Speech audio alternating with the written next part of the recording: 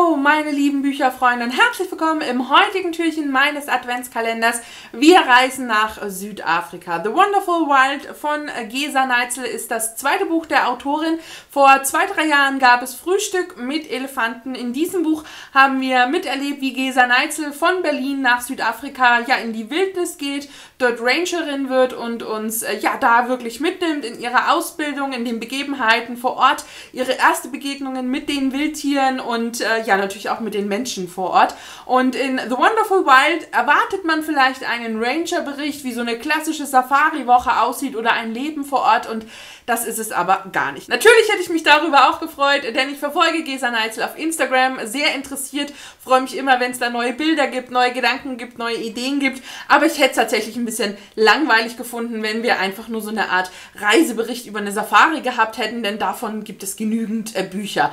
Gesa Neitzel macht etwas was anderes, denn sie packt ihre Gedanken zum Umweltschutz, Tierschutz, Menschenschutz und auch einfach Weltenschutz äh, in ein Buch und fasst das so ein bisschen mit ihren Erlebnissen natürlich, die sie in Afrika, die sie als Ranger hat, die sie auch mit Gästen hat, in diesem wunderbaren Buch zusammen. Mir hat damals schon Frühstück mit Elefanten unglaublich gut gefallen. Ich fand Gesa Neitzel eine super sympathische Autorin, äh, ein Mensch, der äh, Dinge denkt, die ich total faszinierend fand, die auch wunderbar zu Wort gebracht hat, niedergeschrieben hat und die mir wirklich sehr viel gegeben haben, mir sehr viel bedeuten und die mich auch nachhaltig einfach, äh, ja, im Grunde immer wieder, ähm, ja, berühren. Und ich war total erfreut, als ich äh, damals irgendwo auf Insta mitbekommen habe, oh, da gibt es ein neues Buch von ihr. Habe mich mega gefreut, dass sie ein zweites Buch schreibt. Und man war natürlich über Instagram so ein bisschen mit dabei, wenn sie mal eine Schreibpause sozusagen genommen hat oder eine Pause zum Schreiben, je nachdem, wie man sieht.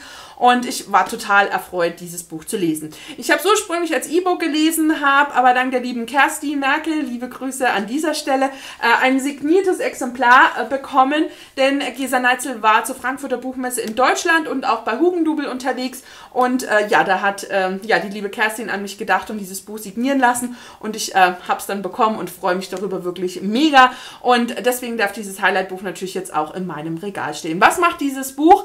Äh, zu einem Highlight-Buch. Es ist einfach die Message, die Nachricht, was Gesa Neitzel uns mitgibt. Dass es eben auch nicht nur ein Schwarz-Weiß gibt. Es gibt nicht nur Gut und Böse, es gibt nicht nur äh, Tierschutz gegen Menschenschutz, sondern dass wir eben alle eins sind. Dass die ganze Welt nur funktionieren kann, wenn alle diese Rädchen richtig gedreht werden, wenn jeder ein bisschen irgendwie in eine Richtung sich verändert, in die richtige Richtung dreht und dass das alles zusammengehört. Dass eben durchaus auch mal etwas ganz schlecht laufen muss, damit danach wieder etwas Gutes daraus entstehen kann, so ein bisschen wie ein Phönix.